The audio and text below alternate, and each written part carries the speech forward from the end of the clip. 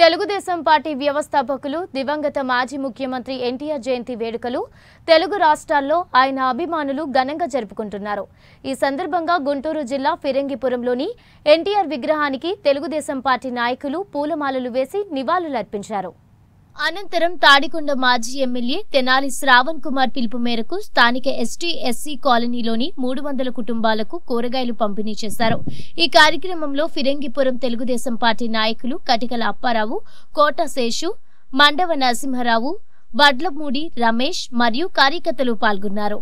ఈరోజు మన తెలుగు జాతి గర్వపడే విధంగా తెలుగు జాతి ఆత్మగౌరవాన్ని నిలిపిన వ్యక్తి మరి మన స్వర్గీయ నందమూరి తారక రామారావు గారి జన్మదినం సందర్భంగా మరి ఈ రోజున ఈ ఫిరంగిపురం గ్రామంలో మరి మండల నాయకులు అందరం కలిసి ఈ ఎన్టీ రామారావు గారికి జన్మదినం సందర్భంగా పూలమాలంకృతం చేయటం జరిగింది. మరి అదేవిధంగా ఈరోజు తెనాలి శ్రావణ్ కుమార్ గారి ఆధ్వర్యంలో ఎస్టీ కాలనీలో కూరగాయల పంపిణీ కూడా ఈరోజు కార్యక్రమంలో ఉంది. తెలుగు ప్రజల కోసం ఆయన ఆ రోజు సినీ జీవితం నుంచి తెలుగు పేద ప్రజలే సమాజమే దేవాలయం పేద ప్రజలే దేవుళ్ళు అన్న నినాదంతో ఆ రోజు మరి తెలుగుదేశం పార్టీని స్థాపించడం జరిగింది. అమ్మ స్థాపించిన తొమ్మిది నెలల్లోనే మరి మరి ప్రపంచ చరిత్రలో ఎంత ఎవరో కనీ వినియోగ రీతుల్లో ఆ బ్రహ్మాండమైన మెజార్టీతో ఆ రోజు తెలుగుదేశం పార్టీ అధికారాన్ని చేపట్టడం జరిగింది.